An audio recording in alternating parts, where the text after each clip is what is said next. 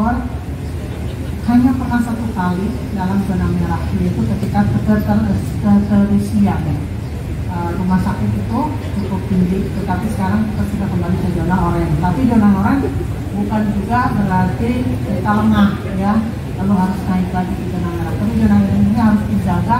Jangan sampai zona ini naik tapi kalau turun ini harus kita lakukan bersama-sama. Sehingga tugas kita adalah bagaimana menjaga, menjaga masyarakat sehat dan sesuai dengan instruksi Menteri Dalam Negeri uh, bahwa kita ini harus mulai tingkat RT sampai RW desa untuk terus menjaga COVID ini tidak menyebar ke mana-mana sehingga harus dilakukannya dan dibangunnya posko-posko.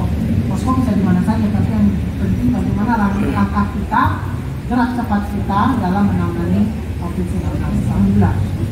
Dan program satu desa satu desa ini saya rasa penting karena uh, sesuai amanah Undang-Undang Nomor 6 Tahun 2014 tentang desa paradigma saat ini bukan lagi membangun desa, tapi desa membangun. Dan program Samisade adalah